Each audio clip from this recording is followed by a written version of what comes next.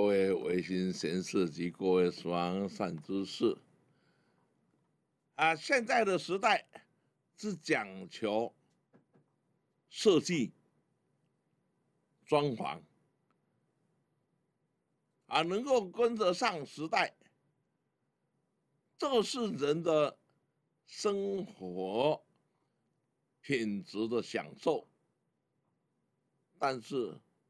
我们也务必要有风水学的观念，否则的话，啊，你花了钱所得的结果是反效果，反而不好。啊，曾经啊，我们有一位设计师，他来问事，问我说他家的孩子。一个一个都不听话，不知道什么原因。我说问你做什么事？他我是做设计，室内设计的。啊，我问他说：“那你是不是对颜色非常的重视？”他是。我依照啊他的本命啊生肖。来配颜色，而你就失败在这一点。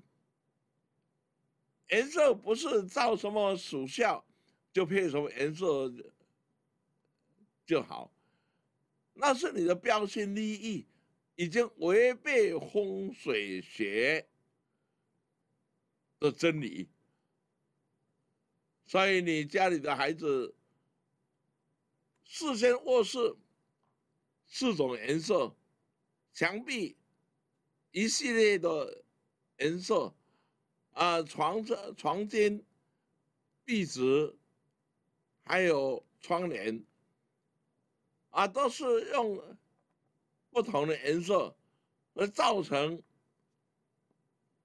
家里的孩子，啊，他们的思想，啊，个性全部都变了。啊，有其形必有其灵，有其灵必有其因，这个道理你知道吗？他们不知道，他感觉配颜色是很高尚的，事实上错了，错了。啊，人的眼睛最怕红色的、粉红色的，而当你。每天在房间里面看到粉红色的墙壁或者窗帘，看多了，脑神经的压力就起来了。这是不变的真理啊，要注意啊。所以我们风水学啊，这卧孩子卧室墙壁不可粉红色，啊，个性暴躁。很不安，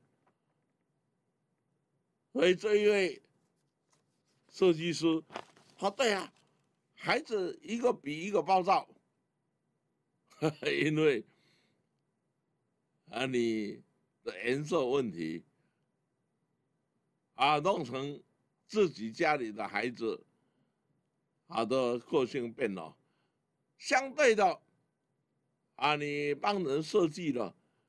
你去调查看看，孩子是不是都一样会产生啊这种暴躁的个性呢？啊，这设计说对呀，啊朋友啊都怪孩子，啊房子设计那么漂亮，给他们住，结果个性一个比一个暴躁，这叫风水学的奥秘嘛。